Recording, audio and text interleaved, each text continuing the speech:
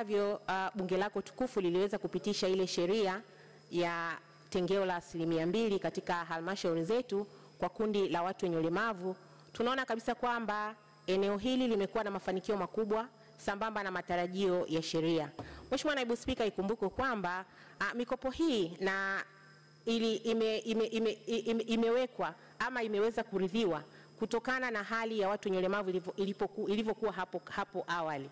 Tuna, tunafahamu kabisa kwamba kundi la watu wenye ulemavu lilikuwa linakutana na changamoto nyingi sana kwenye taasisi zetu za fedha.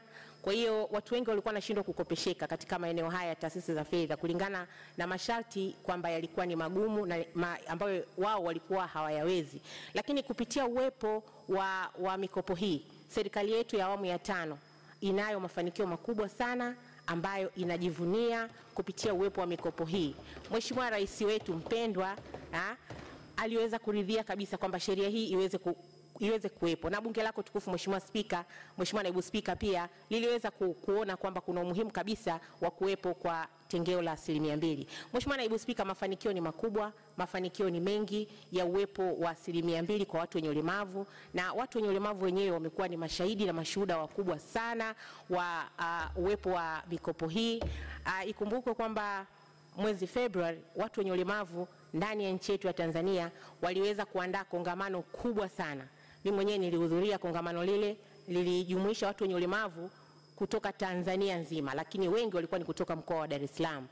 Waliweza kuishukuru serikali sana kwa kusema kwamba sasa sisi watu wenye ulemavu tumeacha kuwa ombaomba, tumeacha kuwa tegemezi, na hatimaye pale, Mheshimiwa Naibu Spika, kitu ambacho kilifanyika kilikuwa ni kitu kikubwa na cha kufurahisha.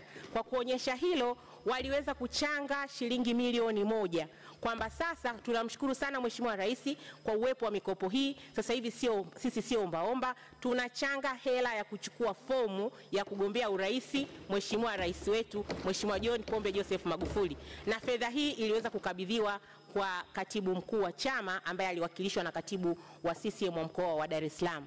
Mheshimiwa Naibu Spika, mikopo ambayo imekwisha kutolewa mpaka sasa hivi ni ya thamani ya hela nyingi zaidi ya uh, sh- uh, bilioni 3.9 imekwisha kutolewa kwa watu kwa makundi ya watu wenye ulemavu na wanaendelea kunufaika nayo katika maeneo mbalimbali ambayo mimi nimefanya ziara ndani ya, ndani ya nchi ya Tanzania. Nimefanya ziara karibu mikoa yote, daima zilikuwa ni salamu, salamu za pongezi, salamu za shukurani kwa serikali ya awamu ya tano, kwa Mheshimiwa Rais wetu na kwa viongozi wetu wote kwamba hakika wanaishukuru serikali ya awamu ya tano kwa sababu sasa hivi wao sio ombaomba tena, sio tegemezi tena, na hatimaye watu wenye ulemavu wamekuwa na, na, na, na, na matani yao. Mwingine anakwambia ah, mi sasa hivi bwana, hata nikipita barabarani nimependeza, niko smati na wadada wananigombea. Kwa hiyo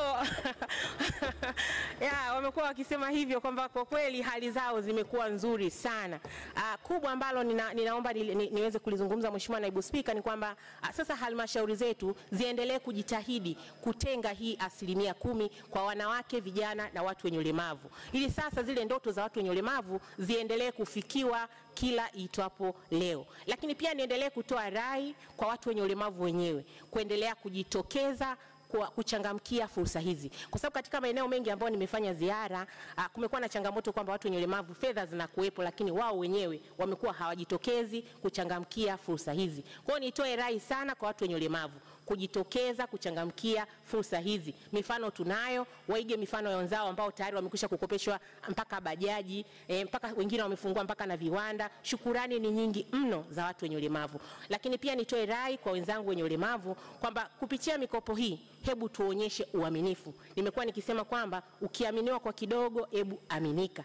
Kundi la watu wenye ulemavu tuonyeshe mfano kwamba tunakopeshwa, lakini tunakopesheka kupitia urejeshaji wetu tuwe mfano katika kurejesha mikopo hii ili sasa na wengine waweze ku, ku, kupatiwa mikopo hii. Wengi wamekuwa wakisema kwamba kwa nini isitolewe kama ruzuku eh? Bado hatujafika huko kwa kutoa mikopo hii kama ruzuku. Sasa hivi ni mikopo ambayo inatakiwa irejeshwe, kwa sababu kundi la watu wenye ulemavu ah, ni kubwa. Kwa hiyo unapokopa na kurejesha, unatoa fursa kwa wenzako kuweza kukopa mikopo hii.